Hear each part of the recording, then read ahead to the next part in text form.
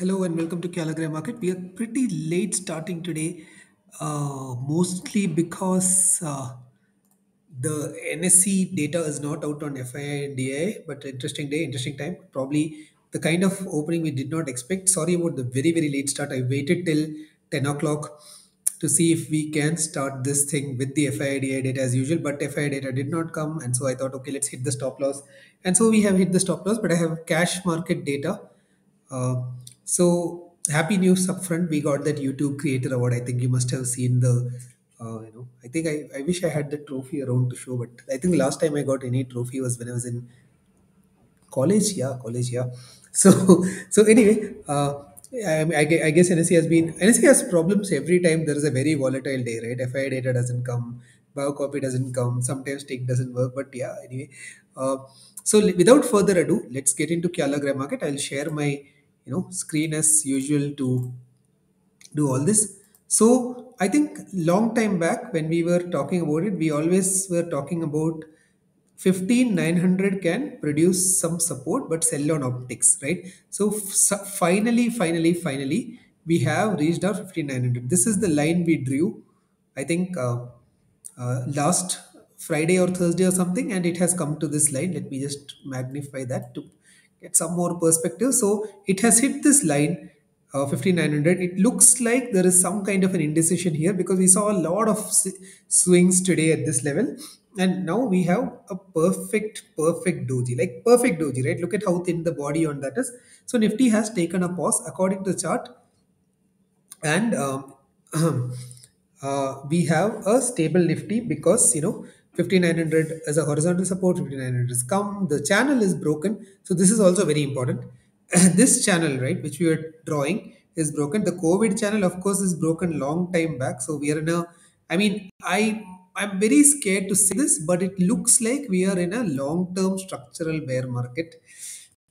I mean, half the people who are saying buy the dip are going to murder me today, but it looks like that, right? Because it fell out of this channel, it fell out of this channel, so now it is in free falling territory. Now, the most likely event is that it can go up till here and come back, or maybe up till here and come back. But it is fairly certain that we have a breakdown of two channels, and it means that market is in a structural bear market, and we are in a bear market unless otherwise proven. So that is the first part, right? So we are in a bear market. Like I'll just say it again, we are in a bear market. You can't ask me, ki, boss, itna gira or kitna girega, right? Because that's not how the market works. Because nobody was asking, ki, boss, itna upar gaya. Oh, actually, a lot of people were asking, kitna upar gaya. How much more can it go in 2020, 2021, right? But it went up to 18,500. Just like before COVID, it was 12,000. During COVID, it was 8,000 and it went to 18,500. Now it, and all of us were asking, ki, yaar, kitna aur jayega, kitna aur jayega. This is crazy. Similarly, now we are in a zone where we ask कि boss कितना गिरा कितना गिरा और कितना गिरेगा Scott is asking is 15500 put monthly sell Scott here this is my problem right why are you not asking 16500 call is not a sell why are you always bet not always why are we betting against the trend in fact this is the first question you have asked i don't even know what questions you asked but see this is the problem right a friend of mine today was also asking why don't we sell 40 uh, 15500 put here what is this urge to you know go against the trend what is this urge to call the bottom what is this urge to say ki boss yahan pe i am going to be the first person who uh, predicts the bottom. that's not how it works right it's a pointless exercise what we really have to focus is on understanding the trend and playing the trend at good entry points, which means if the market is trending up, buy on dips. If the market is trending down, sell on upticks. what is with this thing about let's me find this temporary bottom and exploit it. Chodo yaar 16 oh, you know 15500 wala uh, put छोड़ो ये सोचो कि 16200 वापस आएगा तो 16500 बेचे कि नहीं अभी के लिए कुछ मत करो that's also very legit way of doing things right but नहीं so this is one right so Nifty is in structural bear market let's look it what option change is Option chain is less direct. So today everybody sold 16,000 calls. That is obvious. Some people sold 15,800 calls, but there was enough writing on 15,800 also. In fact, 15,800 has more puts than calls. and 16000 has resistance but 15900 doesn't have support or resistance so 15800 can possibly act as a support and with the pcr of zero point zero 0.04 it is almost almost oversold so i would really not want to bet on shorts now right now let's look at fida data यार ये लोगों ने update नहीं किया that's the problem this is sad thing I mean not sensible ने ओ आ गया very nice this is super nice between the show it happened so 1.15L calls and 2.64L puts it's very bearish. Today they sold calls and bought pushed. Okay, this is not nice. they sold 1700. Okay, so let's write these things down because I didn't have it. I had written not published. We change that.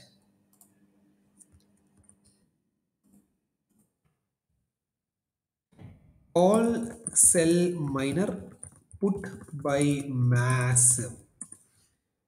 Futures data 1700 CR sell stock data 7000 crores sell right? 7000 crores sell. Twenty five hundred technically. So what does that mean now? Uh, retail bought around 2000 crores of stocks. That's not nice. Di bought 5000 crores of stocks. ab usme bhi bahut kuch are all these people who are doing this year and tax saving through mutual fund ELSSs and all that I'm pretty sure because DI flows include mutual fund flows right so basically we are the only ones who are buying and let me see how big is this today's sell figure today's sell figure is the third biggest sell figure ever since 2021 right? So the biggest sell happened on 26th of 2021. The second biggest sell happened on 4th March Friday. Third biggest sell is happening today, which is 7,400 crores. Fourth biggest was 25th Jan. So all of this is happening now, right? Third March was also a big sell. So we are in a massive, massive selling market. See, there might be some bounce and all. We, you can play that bounce or you can decide not to short at the bounce. But let's not make a mistake in understanding that this is uh, uh, this is like uh, uh, uh, a very structural bear market, right? And as Sagar says, Sagar is one of our all-time longest viewers. Uh, Sagar says it's a huge risk, downside risk. Th- that's the thing, right? If you sell the put, it can wipe you out in one trade. Agar hero banna ही and सबको है na? Thoda, मतलब hero बनने Even I have, right? I bought some call spreads. Like honestly, I bought call spreads today. Might be very stupid. Tomorrow I'm going to cry. I I, I exited all my shorts today. Uh, except I have 18,000 December 2022 calls which we sold like last year or something. But otherwise, I don't have anything now. I think I have March 17,000 calls also, but like, you know, uh, it, it has hardly any premium left. But the thing is, I didn't carry any puts long or futures short or anything today. I got out of all of them. Uh, like, very nice, uh, disciplined person I have become. And uh, I, I, for the fun of it, I just bought some uh, call spreads with like 20k max loss, right? I, I like 20k max loss, 20k maximum profit. I bought some 15, 850, 15, 950 call spreads, like 850 buy, 950 sell for, for fun, like just for fun. Max to max, you'll lose some 20k, max to max, you'll gain for 20k. But other than, you know, this uh, compulsive uh, trades like this, I don't think anybody should be trading, especially in sell puts. Because if you sell a put and if it cracks, right, this is going to be madness. And one single trade like this can practically wipe you out. So it's not a good idea to sell puts here. Absolutely no sell puts. Sell calls, we'll get a bounce, we'll think about it then, right? So that is that. Now let's go to Bank Nifty. Bank Nifty is looking more bearish than Nifty for a fact because so this was easy, right? We talked about it last week. We had said last week on Thursday that look, if there is a close below this channel, then there will be a break. And that exactly played out. Channel broke on Friday and then it was a gap down. Right. So that was fairly easy to trade. I don't know why I didn't take the trade. Maybe I was a wuss, but I did not. I mean, yeah, but uh, I, I wish I had a little bit more, you know, whatever that thing is which makes people do all these trades. So, but then you could say there is a horizontal support in the formation somewhere here. Yeah, I mean, yeah, but this is like I'm just chuma finding lines, right? I'm, I'm finding lines where nothing exists, but I don't want to say this. I'm going to delete this. Maybe it is there, maybe it is not there. I don't know. What did I do?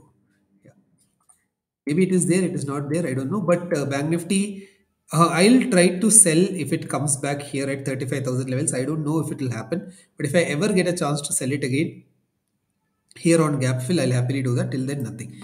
USDINR, the craziest asset class of all times. Uh, I really don't know what to do. Uh, I, I'll tell you why, right? This graph is telling you only half the picture, so let's just do this graph, right? I have one problem with trading view charts. They actually don't look at domestic, they look at international. That is, India closes at 5 p.m. and then they still show starts coming from New York or Singapore or Dubai or one of these things. So, this way you don't find anything, right? But the problem is if you look at, uh, sorry, let me just delete some of this.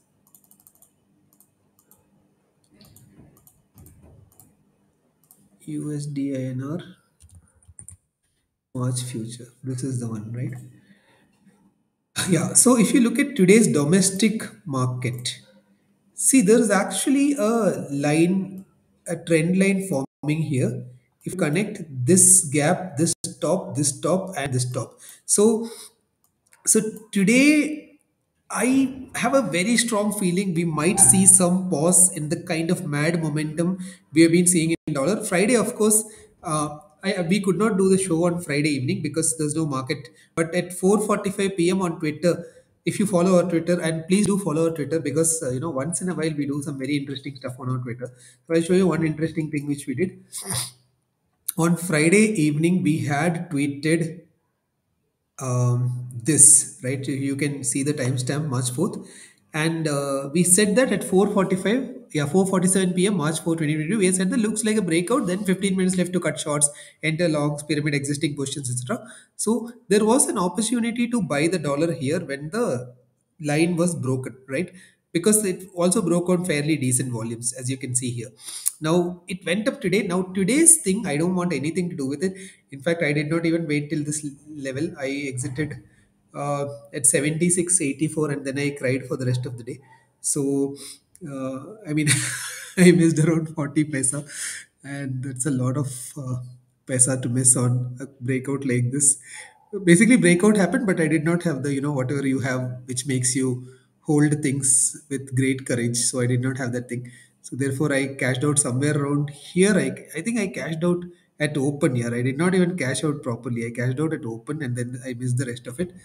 But uh, but yeah anyway so uh, it went all the way till here. Now there is a support forming. So now here's the overall verdict right? It seems we might see a pause. So i'm not saying we will see a pause i don't want to short here. I don't want to long dollar here. I don't want to short nifty here. I don't want to short bank nifty here.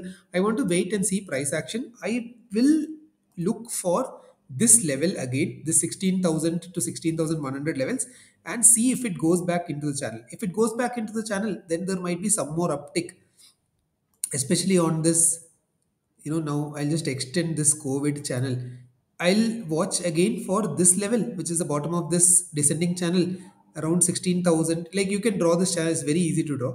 And then the second zone is somewhere around here when it is 16200 to 300 so 16100 is my first resistance. 16200 300 if it happens which i don't think it will is my second resistance. I'll look to short again somewhere over here but i won't short here because it's scary to short here.